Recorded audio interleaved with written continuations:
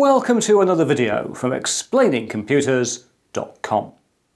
This time I'm going to install Windows 3.1 onto this Android tablet. Why? Well, it just seemed like an interesting thing to do. Right, so here we are on my uh, Android desktop. I can whiz it back and forth, it's very exciting. And the first thing I'm going to do so I can run Windows 3.1 on this tablet is to install a DOS emulator called DOSBox. So I'm going to go to the uh, Play Store and in the Play Store I will search for a DOS box, so it's even had a little search for me. Isn't Google helpful finding what we want most of the time anyway? And you'll see there's various versions of DOSBox available for Android. I'm going to use a free box, which is a version from Fishstix. There is a paid version as well, but this version seems to work well enough for what we need to do, so I'll press install on that. And of course accept the terms of installation and what it needs to access, that type of thing. And uh, there we are, it's installed, and we'll open up the app. And here we are in a DOS emulator for Android. I find that very strange seeing a very, very old operating system like this running on Android tablet. Now, of course, DOS is text-based, so we need to have a keyboard here. And so if I flick down at the top of the screen, I haven't got a physical keyboard on this Android tablet, but I can press keyboard there and the keyboard comes up, and that'll work perfectly well. The only problem with this is, of course, you can't quite see what's going on on the bottom half of the screen. I could do a, a CLS to clear the screen there, I guess, and then I could actually do a directory and you'd see what's going on. But um, it would be easier if I could see the whole screen. So what I'm going to do is to use some of the settings in, in DOSBox here. So I'll use the settings icon in the top right here, activate that, and we'll go down a bit and we'll go to screen scaling.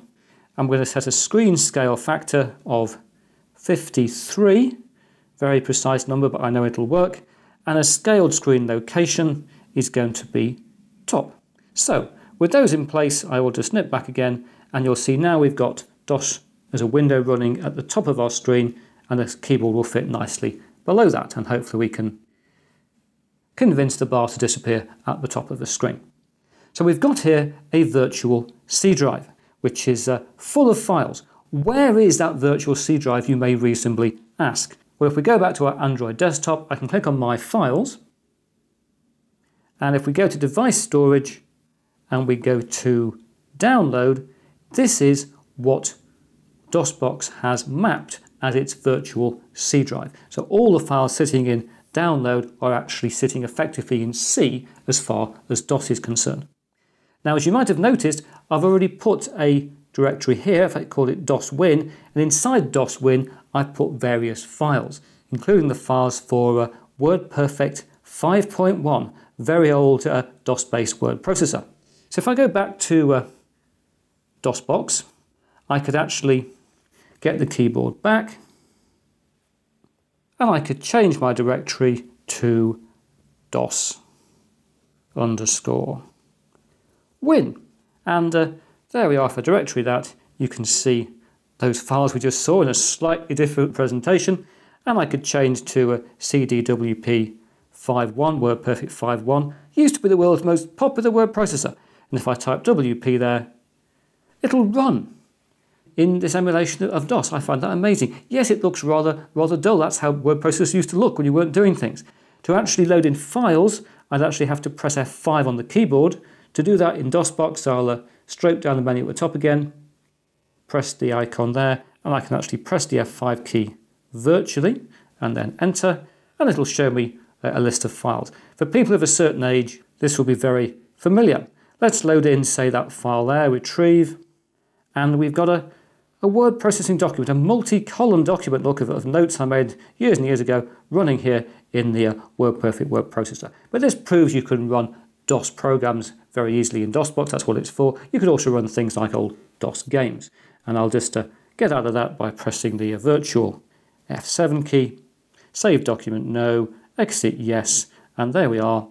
We're back to our DOS directory and I'm going to cd out of that again, remind us where we are, and you'll see in here I've also got a directory called win files.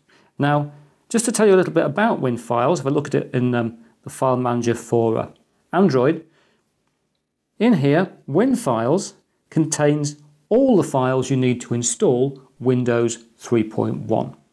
Where did those files come from, you ask? Where did all these files come from you need to install Windows 3.1?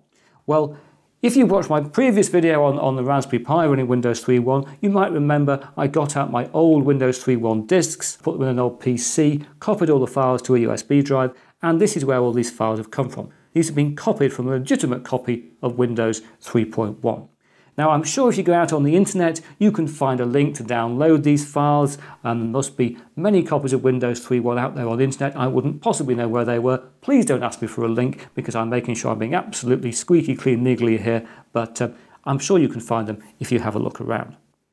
Anyway, I'll go back to uh, our DOSBox emulator, once again bring the keyboard back and in DOSWin I will change my directory to WinFiles like that, and I will type setup to install Windows.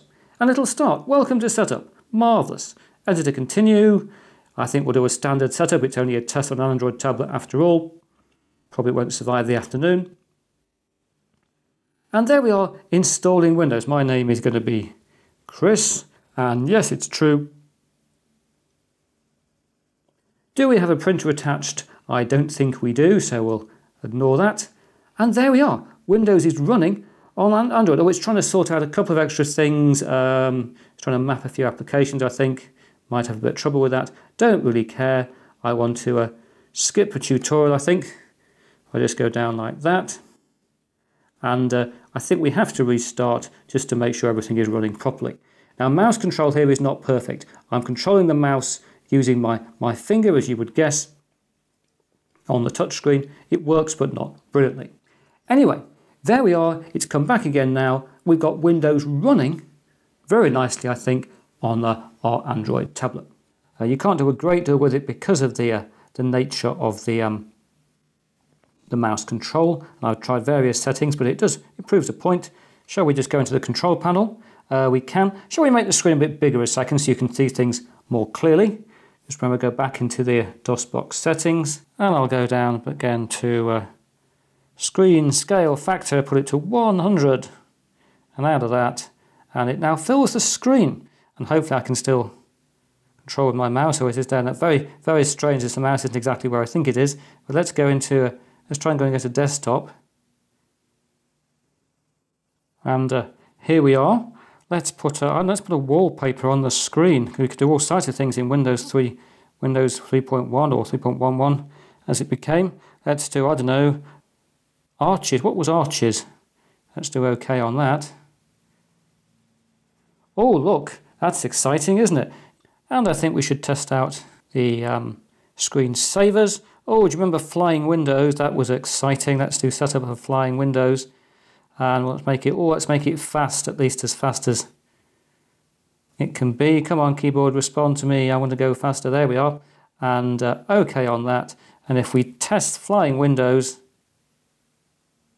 oh look flying windows. This is the sort of excitement you used to look at uh, when you were sitting looking at your PC at work when you weren't doing any work. It used to be um, that is all you had these days. You can go to Facebook. But this is this is if you like the old-fashioned equivalent of Facebook.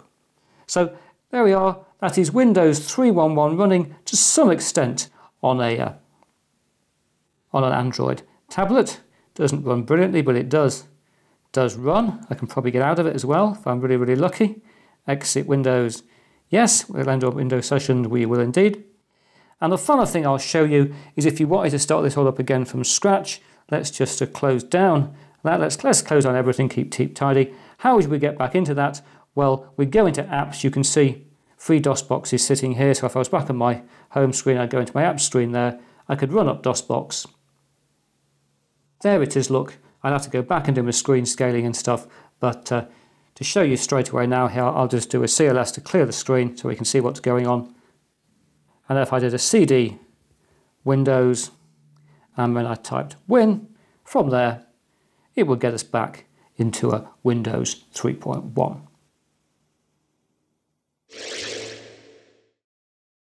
So there we are. We've managed to install an old version of Windows on a modern piece of Android hardware. And if you enjoyed this video, you'd like my, my previous video from about a year ago when I also installed Windows 3.1 on a Raspberry Pi.